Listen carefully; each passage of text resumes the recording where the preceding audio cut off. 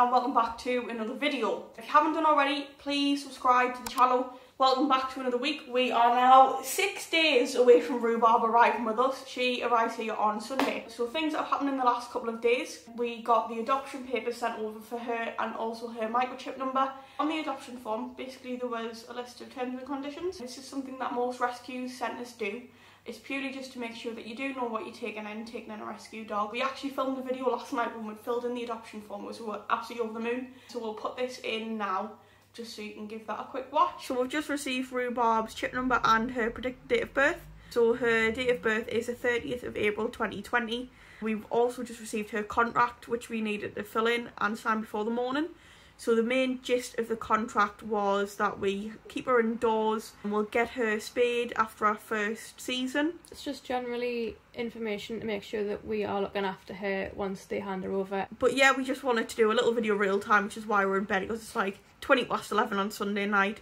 So we'll take it back to the normal video. Um, the next thing we would like to talk about is what we've actually done today, which is Rhubarb's microchip. As you're aware, she is in Romania at the minute. Before she can actually be released to England, quite a few things need to be done. So one of them is to change over the ownership on the microchip. We got the numbers yesterday at the same time as the contracts that were signed. So what you do is you pay, is it £16? 17 £17 to change over the name on the microchip to our name. So I think it was Brooke who put her name down. Yeah. Registered her as living here. Yeah.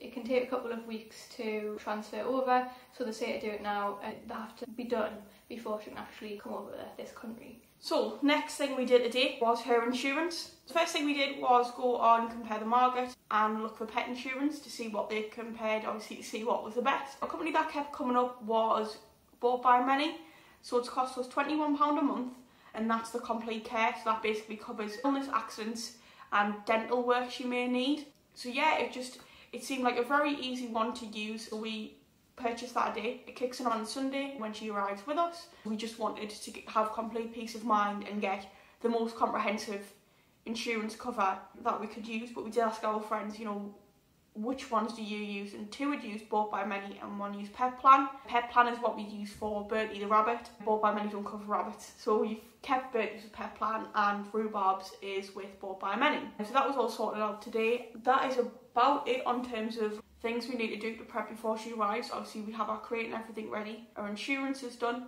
Our adoption papers are done. Our microchip's done. She's fully paid for. When she's allowed to go out next week, we're going to take her to the vet for a checkup. For prices, the first thing I've done is rang Vet for Pets, uh, as that's where Bertie goes, and they quoted £34, and that was for a full vet consultation with a full health check for her. Probably will either use Vet for Pets or Westway, as Alfie uses Westway and they've always been great with him. One more little tip. On the day that the puppy arrives, whatever clothes you're wearing on the day, put that in the bed with them. So then it'll smell like you and um, it's a bit more comforting um, once they settle in. We did inquire to the rescue people about getting a blanket that smells like the puppies in Romania. Basically the logistics of that are terrible because all the puppies will tear to shreds in Yeah. the transport, which is understandable. And it's probably going to smell quite bad anyway if they're all stuck in the van for a couple of days. So Yeah. we have been told that the puppy will smell a little bit stinky when they get off of the transport. So um, we're just going to do the tip that my mum said about wearing clothes and then putting in the bed for her. Even if she comes on like the Monday morning, which could be the case, it could be like three or four in the morning. Yeah. Whatever clothes we wear to cuddle her and make her feel a bit more comfortable, we'll then put in the bed with that on the night time.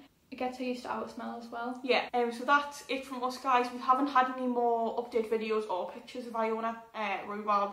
Obviously it's getting so close she leaves in four days, well three and a half if you want to be ready to take. The next video you'll watch will have Rhubarb in it.